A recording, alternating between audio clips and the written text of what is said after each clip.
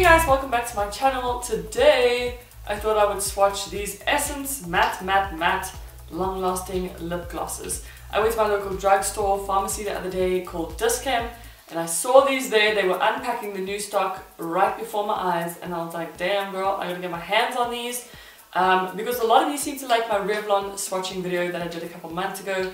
So I thought, hey, let's do another one and also who doesn't love Essence. So I'm really excited to show you guys more about these. There's five in the range and anyway, I'll chat a whole bunch about them.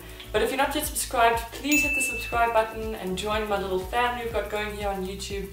And also give this video a thumbs up if you enjoy it at some point throughout the video. But yeah, without any further ado, let's get swatching. Okay, quickly before we swatch guys, I'm going to do the world's quickest review on these. Basically, there's five shades in the range. I don't know if you can see this. I'll put a picture up, sorry. Um, but yeah, there's five different shades in the range. Uh, lightest to darkest, obviously. And they all seem to have a cool purpley bluey undertone which is really nice. Um, South African rands they retail for about 50 bucks. I have no idea what these would cost overseas but here in South Africa roughly 50 rand is what you're looking at. They smell like vanilla cupcake.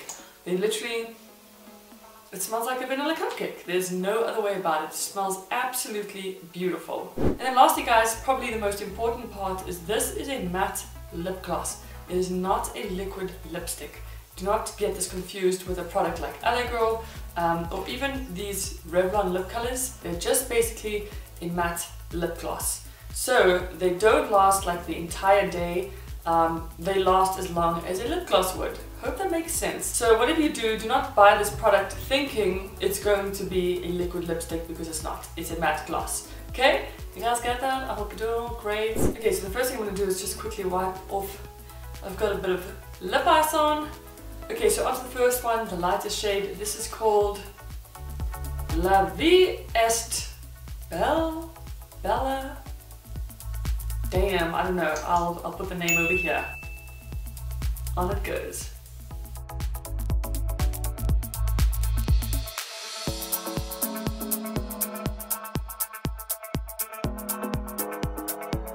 Okay, that is the first one. As mentioned, it is called La Vie Est Belle. Beautiful, beautiful shade. It is just so lovely. I really like this one a lot, actually. It does seem to come out a little bit streaky, but just another coat over the top. Beautiful. I really like this. It's very, very soft, um, moussey kind of texture. And as mentioned, it doesn't set or it's nothing like a liquid lipstick, so it does move around. It is movable, it moves around. Anyway, so again, that is 01 La Vie Est Belle. Okay, so number two is this one. It is called O2 Beauty Approved. very, very nice looking shade. This was the one I just swatched.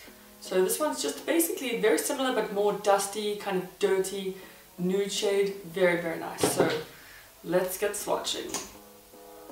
Wow, that is almost identical to my natural lip color.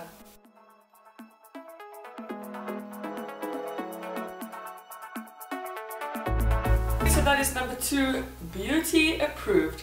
What a stunning color. I really, really like that. It's actually quite a lot different on the lips, not from the tube, but from the other shade. I thought it was a bit similar, as mentioned, just a bit dusty, but it's actually really brown. Damn, girl. I really like the shade a lot as well. As mentioned, that is O2 Beauty Approved. Very, very nice one, guys. Mm.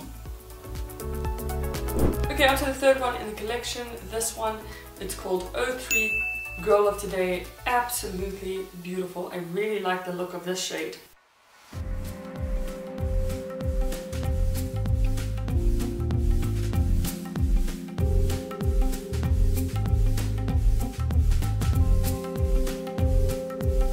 Okay, my goodness, not the best application I've ever done. But anyway, as mentioned, this is 03 Girl of Today. Another really gorgeous color, guys.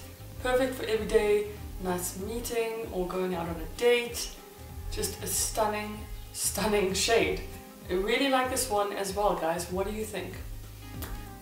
Hmm. Okay, on to the next one. This is 04 Ready Set Impress. I feel like these shades are just going to work for everyone. I don't know, they're just really universally flattering, I think. Anyway, let me just apply this. Here we go. Mm. This one, the texture actually feels quite a lot thinner than the others, interestingly. This is definitely more watery, if that makes sense, not as moussey as the other ones.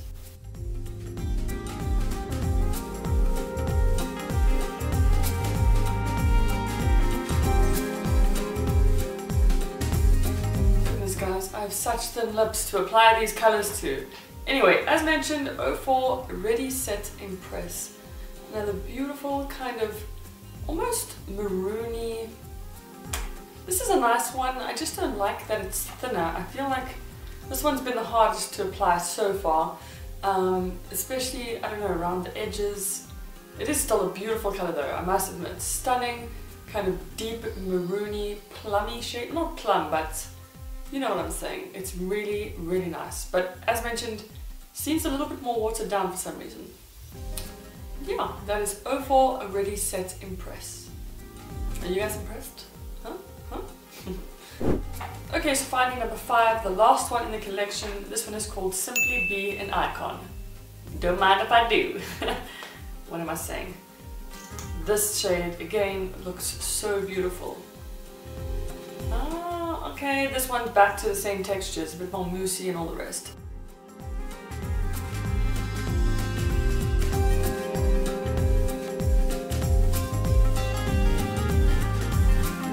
Wow, you see guys, it's got that blue undertone, so, so beautiful. As mentioned, 05 Simply Be an Icon. Super impressed. Oh my goodness guys, I really like this color a lot. I don't particularly look good with dark lips, but I would wear this. I would go out in this shade. Love it, guys. Wow. Okay, 05 Simply Be an Icon. Um, I just thought I'd put these in the container so I can show them to you guys without holding them like a spaz. But yeah, my favorite color would definitely have to be this one. I applied it again because it's just such a beautiful pink nude shade. It's definitely more flattering for my lip shape as well because my lips are so thin. So all these darker shades always just emphasize how thin my lips are. So definitely a fan of this one. The one I can't pronounce, La Vie est belle. This one, I would say, as mentioned, is just quite a bit more watery for some reason. Maybe it's just the one I picked up, but I wasn't too much of a fan of this one. But I mean, it's such a it's such a small thing to to bitch about, if you know what I'm saying. They were all really, really nice. I think Essence hit the nail on the head with the color range. But yeah guys, I think that is it for this video. I really hope I didn't miss anything out and I hope this was comprehensive enough. If not, I do apologize. But thank you guys so much for watching. Please hit the subscribe button if you're not yet subscribed and also give this video a thumbs up if you enjoyed it. But until next time, bye!